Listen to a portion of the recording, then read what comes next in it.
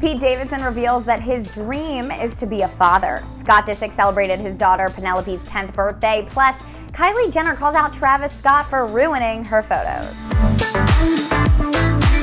Hey guys, it's Allie for Hollywood Life with your KarJenner Roundup. Starting off today with Penelope Disick because the 10 year old celebrated her birthday just a few days ago, and it looks like she got two parties. Kourtney Kardashian threw a pool party for her daughter ahead of her special day, and even though her dad Scott did not attend Kourt's house party, he hosted a slumber party at his place on Penelope's actual birthday. An insider told Hollywood Life exclusively Penelope knows how loved she is by both her father and her mother, and she had such an amazing birthday weekend. She got a ton of presents from her mom and her dad and the entire Kardashian family.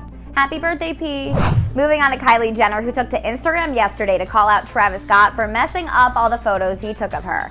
In the photos, Kylie can be seen posing outside, and a cloud of smoke is in all of them. She captioned the montage, Not me looking back at all these pics Trav took of me, and there's smoke in all of them. Well, despite the smoke, Khloe Kardashian took to the comments to express just how much she liked the pics by writing, You are smoking hot, look at you, queen. Good save, Khloe. Closing today with Pete Davidson as he revealed to Kevin Hart on his show, Hart to Heart, that he can't wait to become a dad. The 28 year old comedian said, My favorite thing ever, which I've yet to achieve, is I want to have a kid. That's like my dream. Could Pete be hinting at wanting to start a family with Kim? The Saturday Night Live alum also told Kevin that he's definitely a family guy, and his family was super supportive of him trying stand up and was just like, whatever makes you happy.